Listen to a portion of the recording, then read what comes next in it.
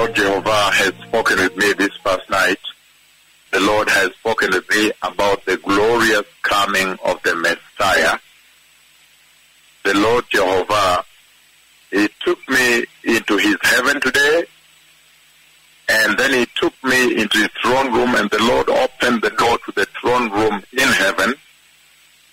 And then I saw the hands of the Lord behind the throne room of God the leaves of the tree of life, the leaves that are for the healing of the nation, and then he took the leaves and he placed them in my hands, and the leaves flourished while we were still in heaven, flourished tremendously in the hands of the two prophets of the Lord.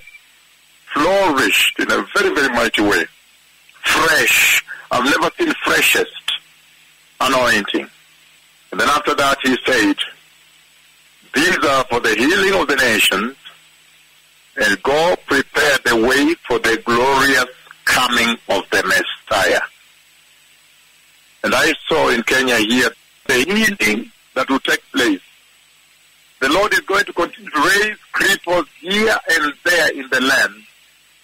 And again, let me repeat this as I wind up. He took me into heaven. And then I saw the two prophets of the Lord right before the Lord God Almighty, Yahweh. And he opened the door the throne room of heaven, his own throne room, the most holy place. And as I walked in there with the Lord, then he walked behind the throne room, and his hand took the leaves, the fresh leaves of the tree of life, the leaves that bring healing to the nation. And he placed them on my hand. And then they flourished. And then when I looked down, I saw the two prophets ministering. And he said, these are for the healing of the nations that now go and prepare the way for the glorious coming of the Messiah. And I see a young boy stand up and walk.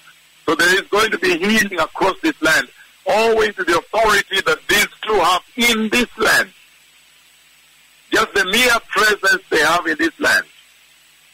They have no spatial limitation, and the anointing the Lord has bestowed on them there is no temporal, no time limitation. There is no spatial.